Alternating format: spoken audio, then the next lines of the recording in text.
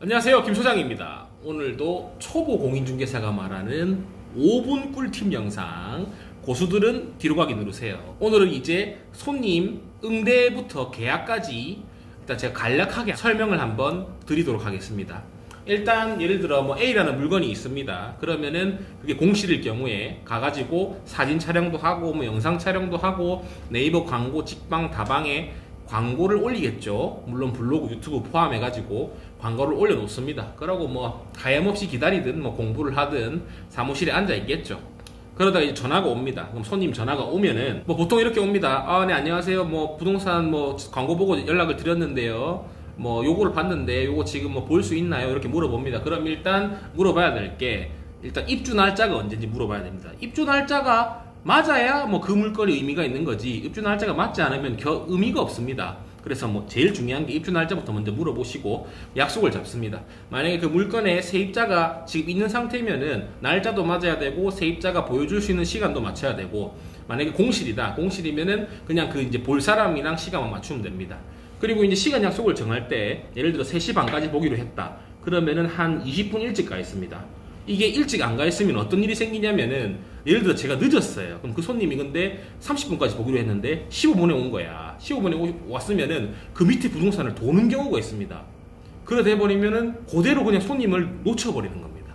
그렇기 때문에 항상 일찍 와가지고 1층 부동산에 많은 소장님이 계시면 가가지고 얼굴도 한번 인사도 드리고 뭐 커피도 한 잔 사드리고 왜냐하면 공동중개를 하는 경우가 많으니까 그렇게 그 사무실에서 시간을 때우면서 손님을 미리 기다리는 게 낫습니다. 미리 와 있는 게 중요하다. 요거 말씀을 드리고 싶고요. 많은 소장님들이 실수를 하는 것 중에 하나가 또 그 물건을 보러 왔다고 그것만 보여주는 겁니다. 절대 그렇게 하시면 안 되고요. 예를 들어 1000에 75짜리를 보러 왔다. 그러면은 5만원 비싼 1000에 80 뷰가 나오는 그것도 한번 보여주고 옆에 건물에 뭐 1085짜리 더 좋은 거, 뭐 드레스룸이 딸려 있다든지 화장실이 더 넓다든지 이런 것도 한번 보여주면서 업셀링을 할 수 있는 영업의 기초가 있어야 1075짜리를 보러 왔다 해서 1075짜리 딱 그것만 계약을 하는 게 아니거든요.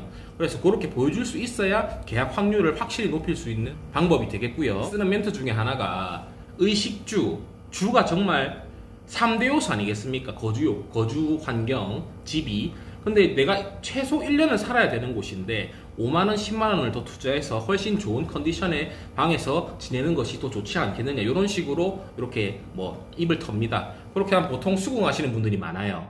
뭐 밥 한 끼 안 먹고 술 한 잔 안 먹으면 되니까요. 근데 집은 맨날 와야 되는 곳이잖아요. 그만큼 돈을 쓸 가치가 있다고 이렇게 세뇌를 시키는 겁니다. 근데 그 말이 맞거든요.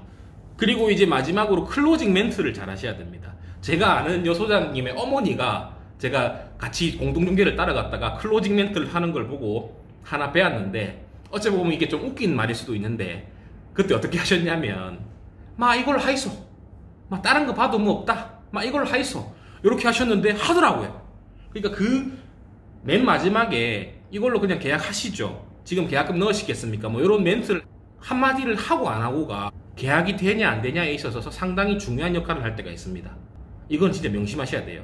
그리고 손님이 예를 들어 다른 것도 보고 올게요 이러면은 조금 뭐 사람이 좀 비굴해진다고 해야 되나? 좀 뭐 그렇게 느낄 수도 있겠지만 한마디를 던져보세요. 어떤 거 보실 거예요? 근데 그게 제가 만약 취급하는 물건이다. 나도 공동중개가 가능한 물건이다. 그럼 그 손님을 데리고 그냥 안 보내주면 됩니다.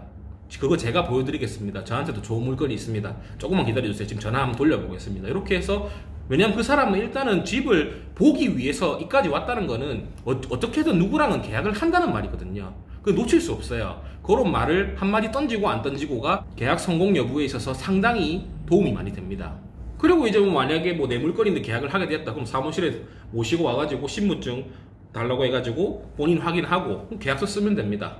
그럼 끝이에요.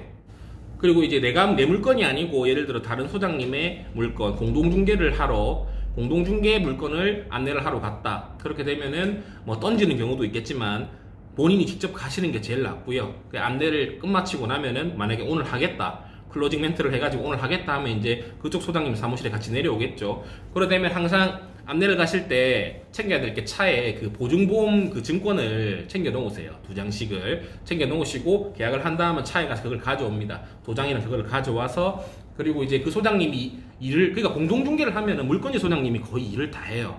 계약서 작성도 물건지 소장님이 하고 설명도 물건지 소장님이 하고 심지어 뭐 파일까지 철도 그 물건지 소장님이 이렇게 계약서를 챙겨서 줍니다. 우리가 조금이라도 일을 덜어드리기 위해서는 딱 내려가면은 보험 보증보험을 딱 준비를 해놓고 도장을 걸어놓습니다. 그리고 손님한테 어, 신분증 좀 주십시오. 해가지고 신분증 받아가지고 그 물건지 소장님이 계약서 작성을 해야 되니까 인적 사항을 적어야 되니까 먼저 드리고 그리고 저희 공동중개를 하면은 내 부동산 상호명, 등록번호, 뭐 주소 그 휴대폰 번호 들어가야 되기 때문에 그것도 미리 문자로 보내놓습니다. 그러면 소장님이 계약서 쓰는데 스무스하게 쓸 수가 있겠죠. 뭐 또 쓰다가 뭐 물어보고 물어보고 하면은 버벅거리면 또 피곤하거든요. 이렇게 좀 센스 있게 하시면은 물건지 소장님들도 좋아하십니다. 그리고 혹시나 보통 공동중개를 하면은 물건지 소장님이 계약 계약 사항을 설명을 해주십니다. 근데 그렇게 와서 도장만 찍고 가면 좀 미안하잖아요. 가끔씩 물건지 소장님이 바쁠 때가 있어요. 다른 손님이 왔다든지 그러면 계약서를 뽑아주시면 내가 그냥 계약을 진행을 하면 됩니다. 계속 기다리고 있으면 안 되시고요. 그런 센스 있는 융통성 있는 대처로 계약 많이 하시기 바라고요. 어쨌든 오늘 영상도 여기서 마치겠습니다. 궁금한 점은 댓글 달아주시고요. 구독과 좋아요 부탁드립니다.